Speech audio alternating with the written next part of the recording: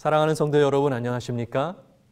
저는 오늘 여러분들과 함께 건강한 삶과 열등감이라는 제목으로 하나님의 말씀을 나누려고 합니다. 여러분은 혹시 어떠한 열등감을 가지고 세상을 살아가고 계십니까? 코끼리 부대를 이끌고 알프스 산을 넘어 로마군을 전멸시켰던 명장 한니발 장군은 한쪽 눈이 없는 약점, 열등감이 있었습니다. 그는 유명한 화가를 불러 자신의 초상화를 그리게 합니다. 초상화를 보니 역시 자기의 눈 하나가 없었습니다. 그는 화를 내면서 감히 나를 이렇게 그리다니 저자의 목을 당장 쳐라 라고 말하고 화가는 죽임을 당하게 됩니다. 두 번째로 불려간 화가는 덜덜 떨었겠죠. 그래서 두 번째 화가는 한니발 장군의 한쪽 눈이 없지만 있는 것처럼 두 눈을 다 성하고 멀쩡하게 그립니다. 이번에도 한니발 장군은 화를 내면서 내 눈은 하나인데 어째서 두 개로 그렸느냐? 거짓으로 그림을 그린 저 화가의 목을 당장 쳐라. 그리고 두 번째 화가도 죽임을 당합니다. 세 번째 화가는 어떻게 해야 될까요? 세 번째 화가는 장군에게 이렇게 말합니다. 장군님 옆으로 비스듬히 앉으십시오. 라고 한 다음에 한쪽 눈과 콧등만 그린 겁니다.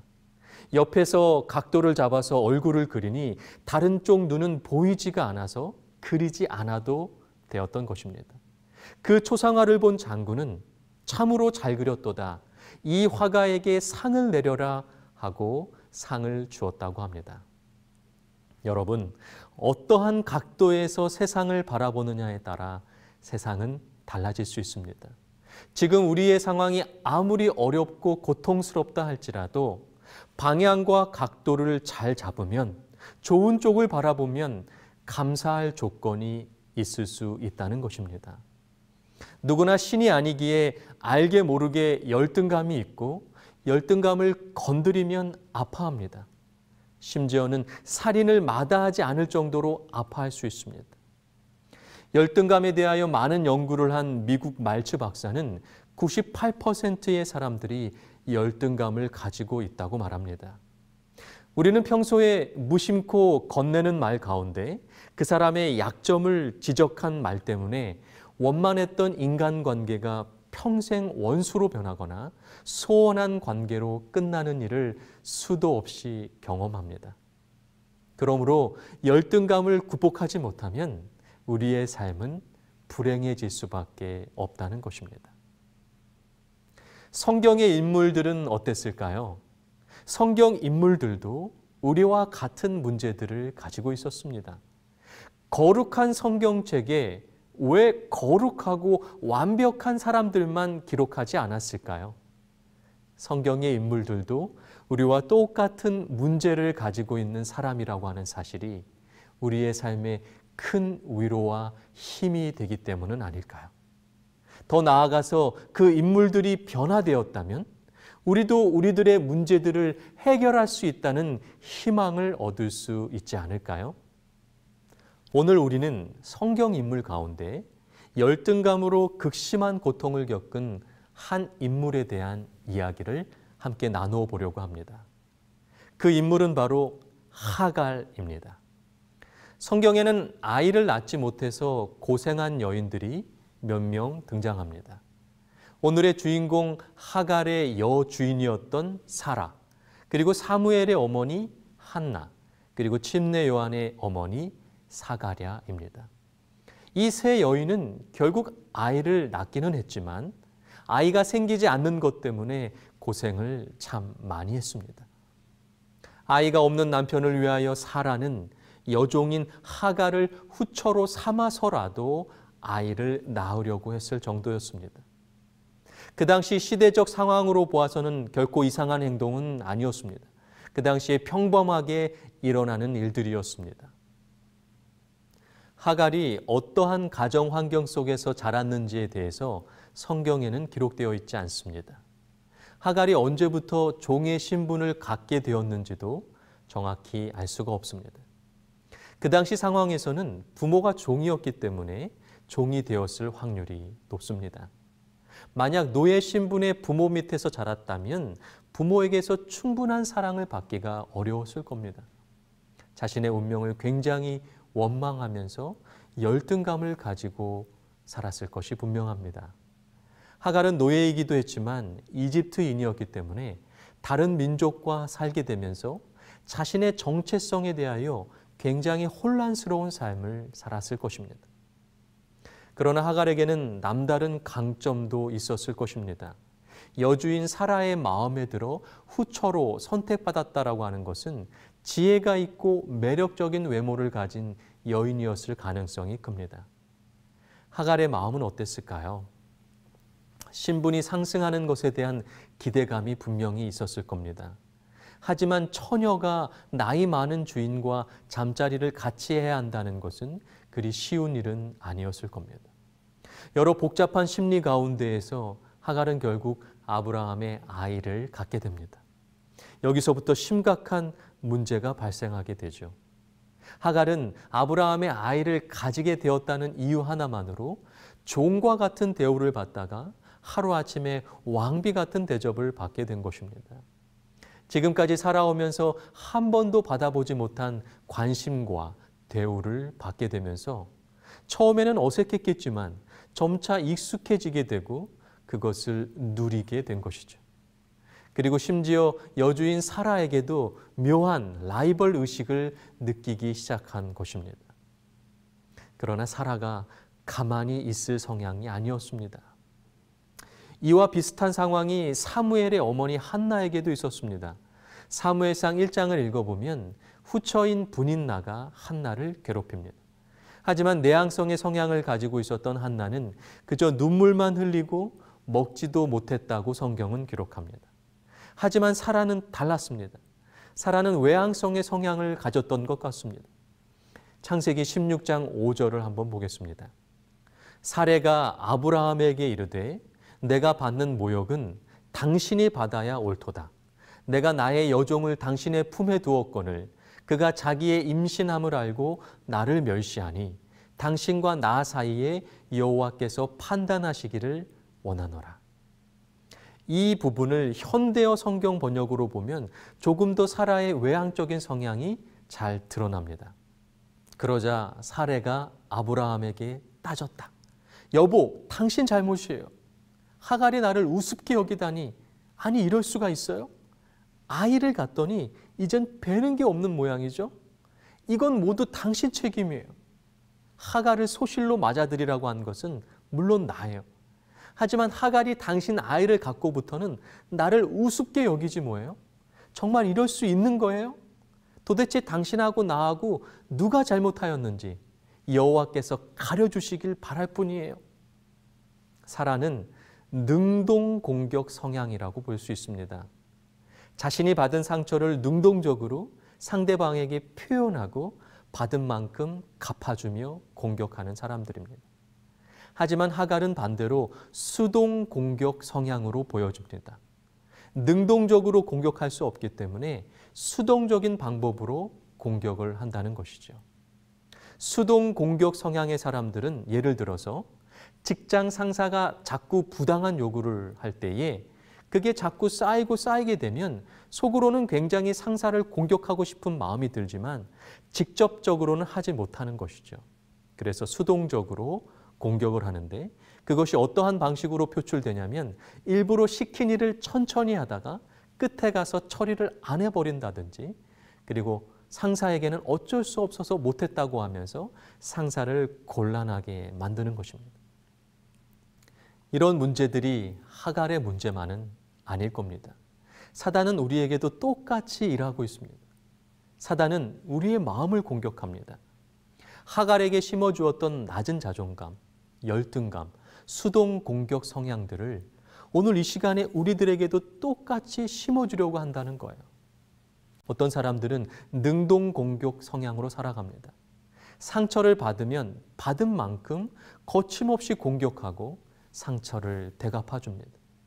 하지만 뒤끝은 없다고 말합니다. 그러나 여러분, 총도 뒤끝은 없습니다. 하지만 총은 결국 사람을 죽입니다. 우리는 우리의 말과 행동과 표정으로 사람을 마음으로 죽일 수 있다는 것이죠. 수동 공격은 어떨까요? 겉으로는 공격을 안 하지만 속으로 미워하는 마음을 품고 있다는 거예요. 문제는 눈으로 보이지는 않지만 부정적인 영향을 받고 있다는 것입니다. 때로는 능동 공격 성향보다 수동 공격 성향의 사람들이 더 무서울 수도 있습니다. 여러분은 어떤 성향으로 세상을 살아가고 계십니까? 하갈은 자신의 문제를 극복할 수 있었을까요?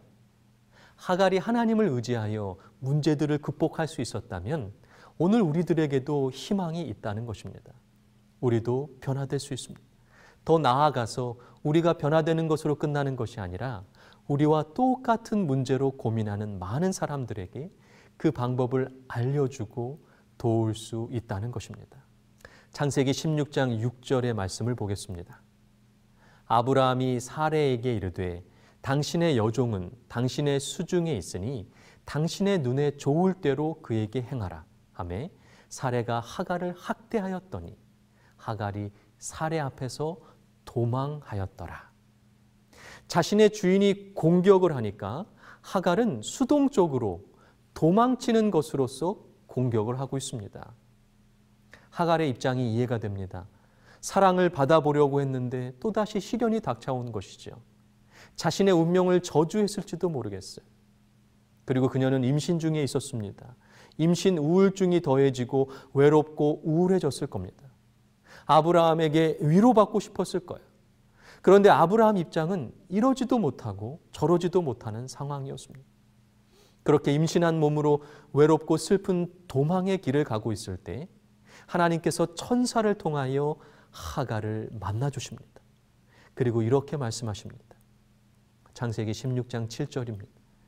여호와의 사자가 광야의 샘물 곁, 곧 술길 샘 곁에서 그를 만나 이르되 사레의 여종 하가라 내가 어디서 왔으며 어디로 가느냐 그가 이르되 나는 내 여주인 사례를 피하여 도망하나이다. 내가 어디서 왔으며 어디를 가느냐?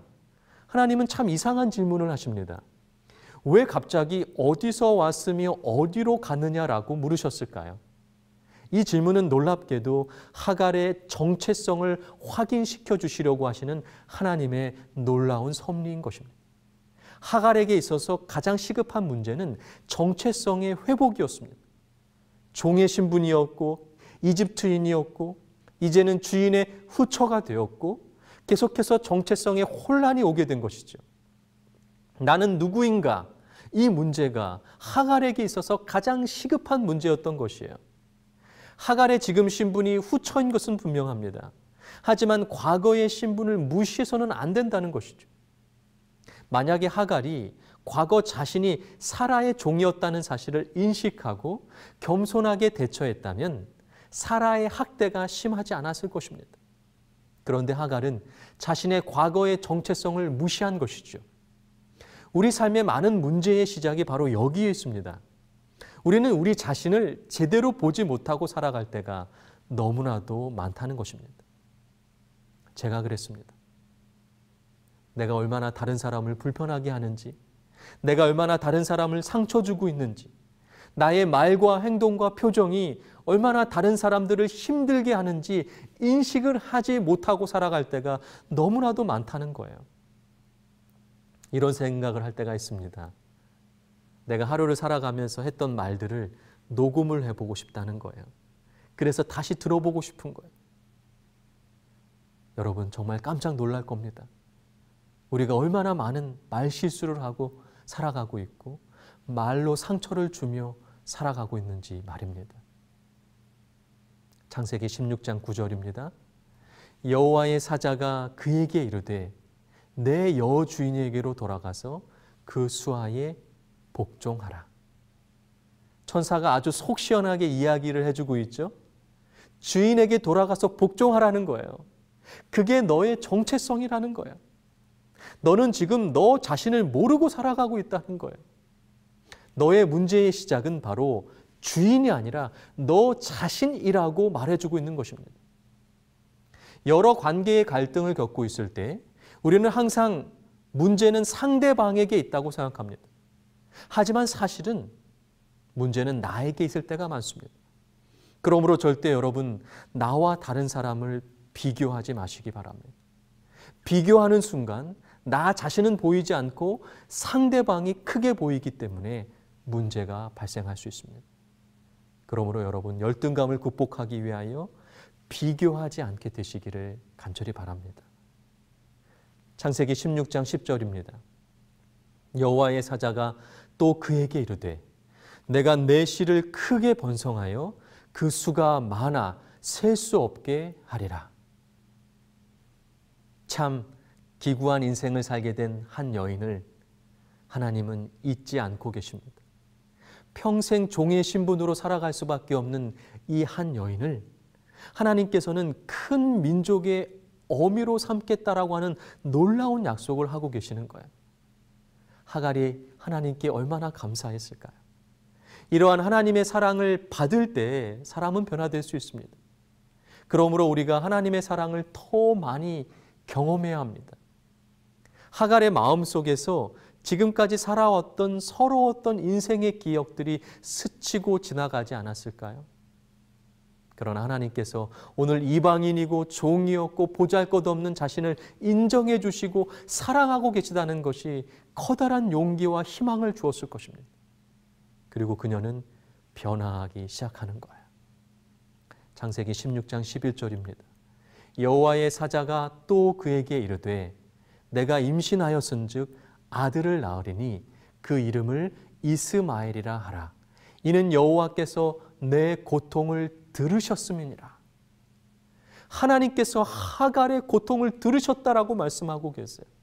하나님이 오늘 우리들의 고통을 듣고 계십니다. 하나님이 나에게 관심이 없는 것처럼 느껴질 때도 있습니다. 하나님이 나의 기도를 듣지 않으신 것처럼 느껴질 때도 있습니다. 하지만 여러분, 오늘 하나님께서 우리의 고통을 듣고 계신다는 거예요. 들어주시는 하나님 앞에 여러분 나아가시기 바랍니다. 그리고 여러분들도 누군가의 아픔을 들어주는 사람이 되어주시기를 바랍니다. 그 사람의 문제를 가만히 듣고 있다 보면 자기 스스로 문제의 해결을 찾고 힘을 얻을 때가 너무나도 많습니다. 하나님은 오늘 우리의 상담자가 되어주십니다. 여러분의 문제와 고통과 아픔을 오늘 이 시간 하나님 앞에 이야기하게 되시기를 간절히 바랍니다. 하나님께서 여러분의 고통을 듣기를 원하고 계세요. 그리고 서로 서로 상담자가 되어 주시기 바랍니다. 말하기보다 듣기를 많이 하시기 바랍니다. 우리는 너무도 듣기보다는 내 말을 많이 합니다. 도와주려고 하는 말이지만 도움이 안 될 때가 많습니다. 사람들이 가장 좋아하는 사람은 공감해주고 잘 들어주는 사람임을 기억하시기 바랍니다. 그러므로 열등감을 극복하기 위하여 여러분 하나님 앞에 여러분들의 아픔을 이야기하시기를 간절히 기도합니다. 창세기 16장 13절입니다. 하갈이 자기에게 이르신 여호와의 이름을 나를 살피시는 하나님이라 하였으니 이는 내가 어떻게 여기서 나를 살피시는 하나님을 배웠는고 함이라. 하갈이 하나님의 이름을 지었습니다. 살피시는 하나님. 성경에서 하나님이 사람의 이름을 지어주시거나 바꾸어주시는 장면은 많이 나옵니다. 그러나 사람이 하나님의 이름을 지었다라고 하는 것은 흔한 일이 아닌 것이죠. 그것도 보잘 것 없는 종의 신분인 이 여인이 하나님의 이름을 지어드리고 있는 놀라운 장면이라는 거예요. 열등감과 낮은 자존감을 갖고 있었던 하갈의 모습이 놀랍게 변화하게 됩니다. 하나님의 이름을 지을 정도로 용기 있고 힘 있는 모습으로 변화된 것입니다. 하나님의 이름을 지을 수 있을 정도로 우리는 귀한 존재임을 기억하시기를 바랍니다. 여러분들 가운데 어렸을 때에 불우한 환경 때문에 낮은 자존감을 가지고 힘들게 살아가시는 분이 계십니까? 하나님께서 주신 귀한 자존감을 회복하게 되시기를 간절히 원합니다. 사단은 끊임없이 우리들을 무능한 존재로 만들고 열등감에 사로잡히게 만듭니다. 그럴 때 기억하십시오. 하갈도 하나님의 이름을 짓는 용기를 보여주었다는 사실을 기억하십시오. 우리도 할 수 있습니다. 이제는 우리의 운명을 바꿀 때가 온 것입니다. 하갈이 하나님의 이름을 짓고 그 이름을 부르며 힘을 얻었던 것처럼 우리도 예수님의 이름을 불러야 합니다. 예수님의 이름을 부르는 순간 예수님의 능력이 임하기 때문입니다. 그것은 예수님의 약속입니다. 그러므로 여러분, 힘들고 어려운 순간 예수님의 이름을 불러보시기를 간절히, 간절히 바랍니다. 엘리시오 마르코바는 어린 시절 너무나 작고 다리가 약해서 의사로부터 다리를 튼튼하게 하기 위하여 춤을 추라는 강한 권유를 받았습니다. 그리고 그 약점 때문에 그 열등감 때문에 그녀는 위대한 발레리나가 되었습니다. 글렌 커닝햄은 7살 때 심한 화상을 입고 한쪽 다리가 6cm 이상 짧아진 다음에 13살이 되어서야 다리를 곧게 펼 수 있었습니다. 그 약점, 그 열등감을 극복하기 위하여 그는 열심히 달리기를 하기 시작했고 마침내 훌륭한 육상 선수가 됩니다. 1934년 커닝엄은 남자 육상 1500m에서 세계 신기록 4분 6초 7을 세우게 됩니다. 위대한 작가 안데르센은 어렸을 때부터 못생긴 외모 때문에 놀림을 당했습니다. 그러한 약점, 열등감 때문에 안데르센은 성냥팔이 소녀 그리고 미운 오리 새끼 같은 감동적인 작품을 쓸 수 있었던 것입니다. 헬렌 켈러는 심지어 시각장애, 청각장애, 언어장애의 약점을 가지고 있었어요. 그러나 설리번 선생님을 만난 다음에 그 약점, 열등감을 극복합니다. 하갈에게 다가오신 하나님처럼 설리번 선생님이 그 역할을 한 것이죠. 이들이 할 수 있었다면 여러분, 우리도 할 수 있습니다. 닉 부이치치는 팔과 손, 그리고 다리와 발이 없이 태어났습니다. 그럼에도 결혼하였고 아내와 내 아이와 행복하게 살아가고 있습니다. 그리고 많은 사람들에게 희망을 전하는 희망 전도사로 살아가고 있습니다. 여러분, 우리는 눈이 보이고 귀가 들리고 말을 하고 팔과 손이 있고 다리와 발이 있지 않습니까? 그러므로 여러분, 약점을 보지 마시고 하나님이 주신 놀라운 강점을 바라보게 되시기를 간절히 바랍니다.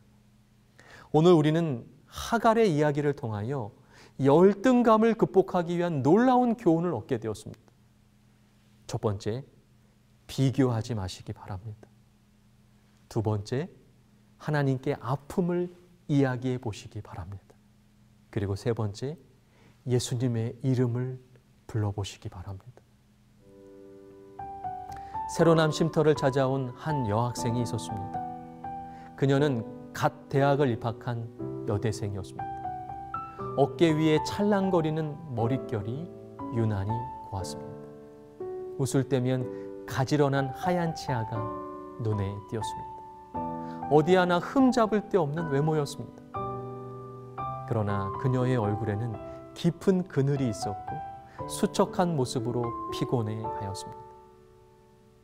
친척 오빠에게 어려서 성폭행을 당했던 것입니다. 유치원 다닐 나이 때부터 그 생각은 그녀의 머릿속에서 떠나지 않는 그림자가 되었습니다. 언제 어디서나 그 생각으로 인하여 괴로워했습니다. 그 생각을 잊어버리고자 해보지 않은 것이 없었습니다. 그 생각을 잊기 위하여 술도 많이 마셨어요.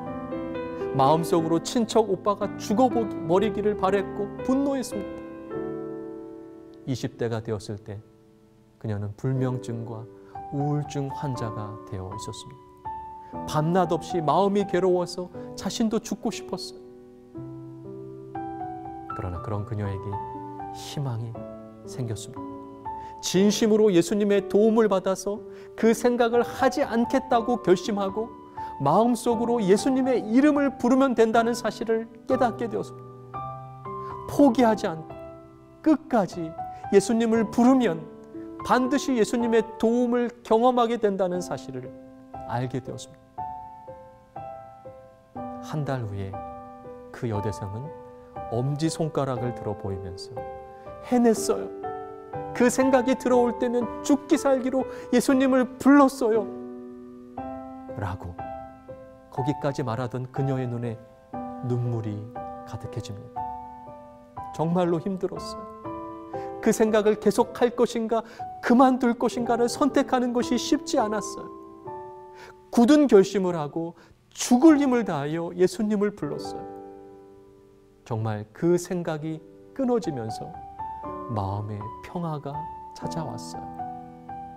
예수님은 정말 살아 계세요. 여러분, 예수님은 지금 이 순간에도 여러분이 예수님의 이름을 부르며 예수님을 의지하고 예수님께 도움을 청하기를 기다리고 계십니다. 하갈처럼 비교의 늪에서 벗어나시고 하나님께 아픔을 이야기하시고 예수님의 이름을 부르시며 열등감을 극복하게 되시기를 간절히 간절히 기도하면서 말씀을 마치겠습니다.